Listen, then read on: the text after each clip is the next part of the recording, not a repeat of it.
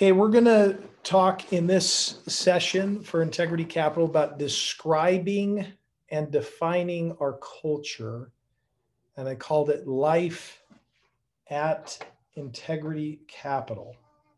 So there's 10 different things that we're going to go through and it's really important for us to be able to use this not only for our own accountability that we're living the stuff out, but also as a way for us to be able to communicate with those that might be interested in working here as a way to describe life here. What is our culture like? And this will hopefully be a roadmap for you, not only to understand the pithy statements that you'll hear, but also to be able to describe it so that you can understand the definition of what we mean, because that's the first starting place. What do we mean when we say this? And then also the manifestation of that, maybe some layout, a little bit more clarity, and then also what it's not as well. So the first one that I think we're all very stacked hands on is I own it. And when we say I own it, what we mean is someone at the firm is modeling taking personal mm-hmm. responsibility. Ironically, we just talked about that. They are owning it. And so the manifestation is if someone has made a mistake, dropped the ball, forgotten to follow through, they quickly own up to it. They don't soft sell it or make excuses, but immediately say, I take ownership of this. And then follow it up with how they are going to fix it in the future. We don't expect perfection but we do expect a working towards attitude that is proven by effort, right? So we don't, we're not going to expect someone's just going to get it the first time. But at the same sense, on the other side of the coin, we want to see that someone's moving in a particular trajectory. Um, what it's not is it's, this does not mean that we continue to make the same mistake over and over and over and over again and never work towards resolution. Uh, this also does not mean that we expect it never to happen again as we are all human. So there's a sweet spot right in the middle of that which is healthy. So that's what we mean. That's the manifestation. And that's what we do not mean when we say, I own it, just for clarity sake. So before I move on to the next one, does anybody have any questions or comments? I want to give a little bit of room for it before we move. Good. Okay. Uh, the second one in describing our culture would be managing priorities, not time. So, managing priorities for our firm means being intentional in planning out your calendar to be focused on the things that have the most impact in your particular position slash department. So, the manifestation is someone who's managing priorities well has their day, week, month possibly laid out in advance. So they have clear goals and know what it takes to accomplish them for the allotted time. They're focused to drop the things that are not priorities fast and be laser focused on the things that have the greatest ROI, return on investment. Uh, this person is productive not just a busybody, right? There's a, there's a difference between productivity and busyness. Uh, they're focused, not frantic. They have clarity versus confusion.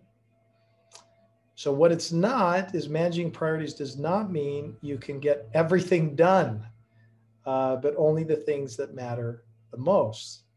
This is also does not mean someone can just continue not getting things done and not be able to clearly account for why they didn't. So there's again a balance somewhere right in the middle. So that is managing priorities, not time. That's what we mean by it. That's sort of a manifestation, at least some sort of example, and then what we don't mean. So any comments or uh, things that I could clarify on that?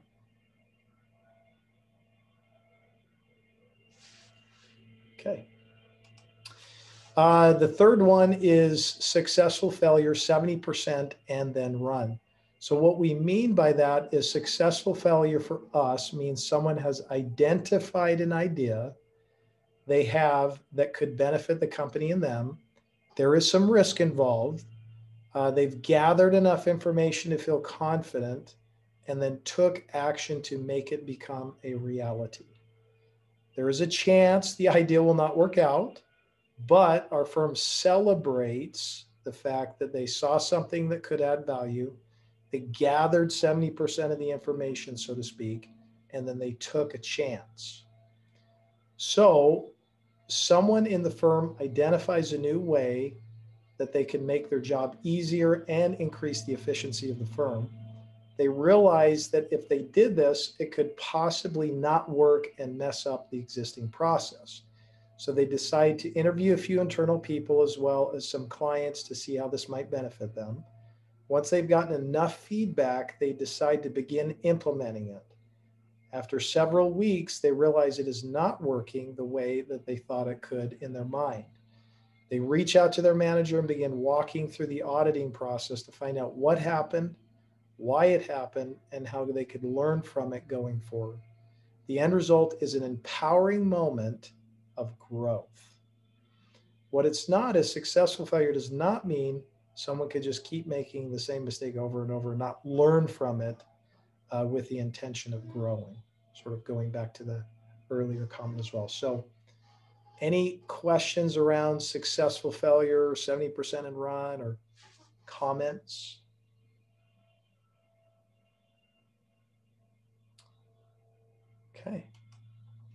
So the fourth one is candid but gracious. So we say candid but gracious, we mean that we are verbally, we verbally, key here, are discussing what is real with ourselves, coworkers, shareholders, clients, and even the community. When we share what is real, we are doing it in a very gracious, kind, respectful tone and explaining the reasons behind the reality and having their best interest in mind.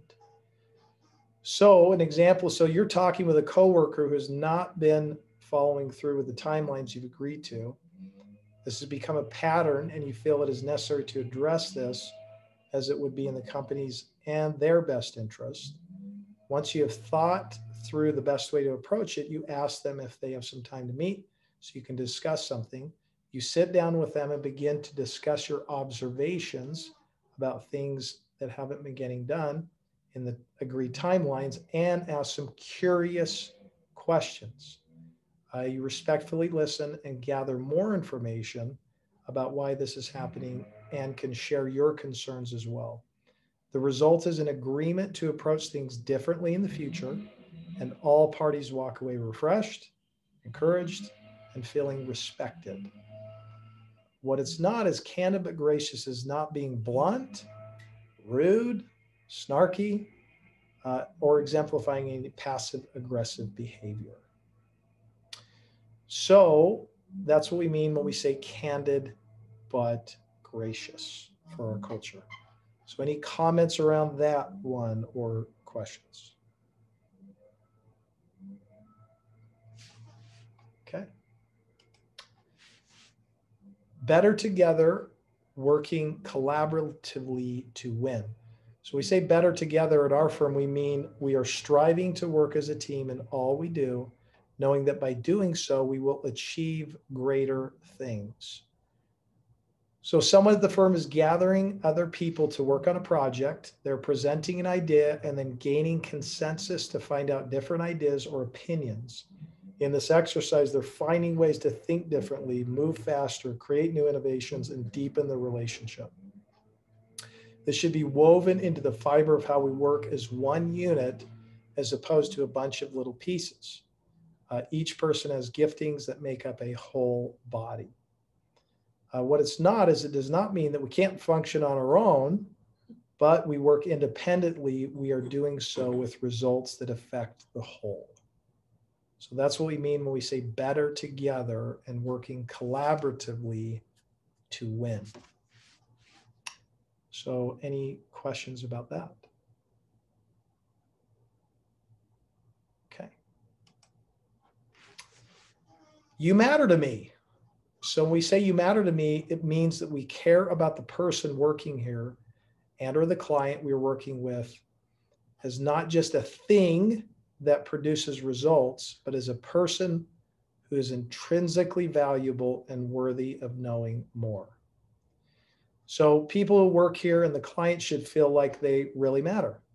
The way this manifests is in that people are asking questions, remembering special days or moments, understanding their deepest desires and longings, finding out what excites them and is their passion.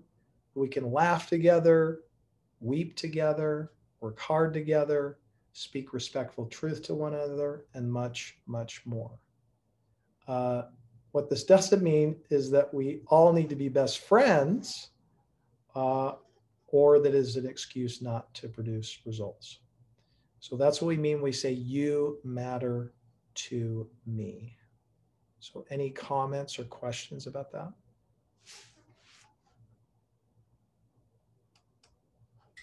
Okay, handing the baton to the next. So, handing the baton to the next mean, means we are continually working on mentoring the next person in line to replace your position so that you can keep growing. This might seem scary at first, but it should not be.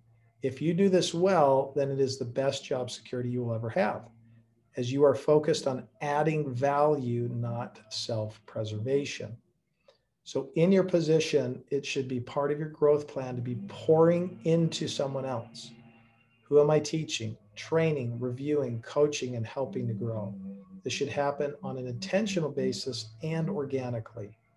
This is a culture part of growth and training so that everyone here really becomes a leader. Um, what this does not mean is that you do this at the expense of performing your job, uh, as it's the optimal position.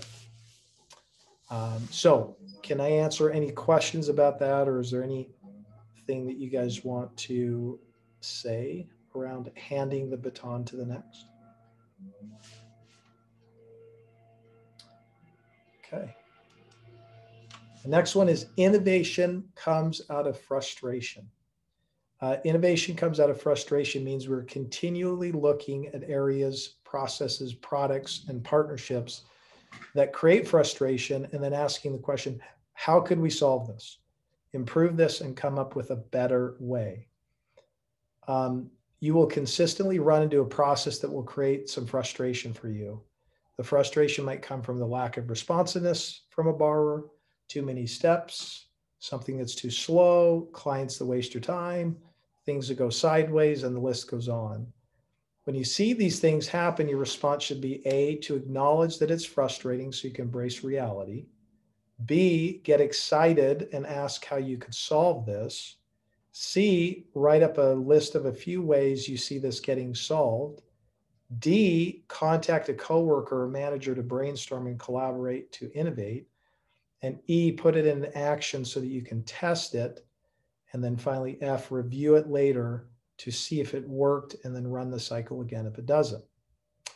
What this doesn't mean is that you need to do a massive project every time you run into a little frustration. Um, you should only keep your attention on one thing at a time and take things in bite sizes so that you can see progress. So that's what we mean when we say innovation that comes out of frustration. You guys have been pretty quiet, so I'm not even asking if you need any questions. um, so be lean and nimble.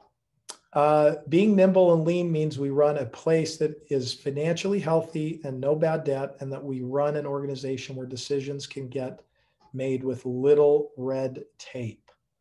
So in real life, we make uh, financial decisions that help us invest heavily in areas that give the greatest return and spend less money on things that don't. For example, we want to invest heavily in our people, technology, R&D, education, marketing, leadership, and the like. We want to spend less things on those things that are fancy offices or over the top marketing gimmicks, et cetera. As for decisions, we want to promote our people to latch on to what we call the type one and type two decisions. We've done a whole teaching on this, type one decisions are ones that should defer to upper management as it deals with high impact items that are tough to unwind. So this could be something like hiring decisions or moving into a strategic market. Type two decisions are probably 85% of the operational decisions. They'll rarely have a large impact, but should be made without getting approval. So this this would be solving problems for clients, coming up with new ideas, doing research, etc. And it's important that our people feel empowered to make choices and feel a part of the success of the firm.